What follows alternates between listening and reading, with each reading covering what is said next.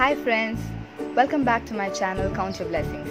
Today, today I would like to share with you a simple way to transform a table mat into a cushion.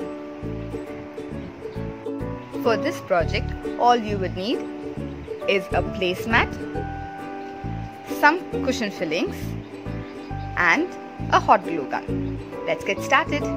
First, you would need to cut a slit in your table mat.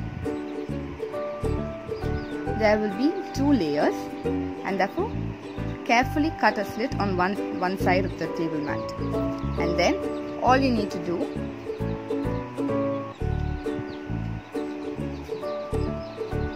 is stuff it with some cushion filling.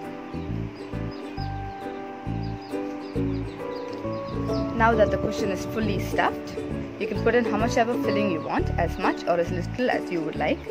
And now that the cushion is stuffed, all you need to do is glue down the edges.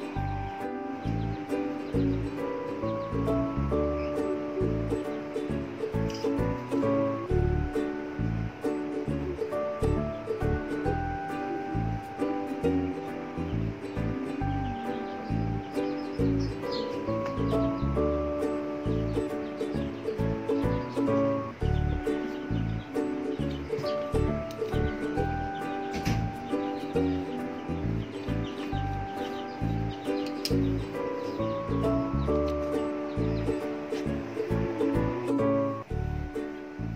DIY cushion is ready.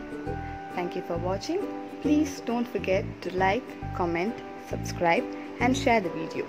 Till we see you again, take care, God bless, bye bye.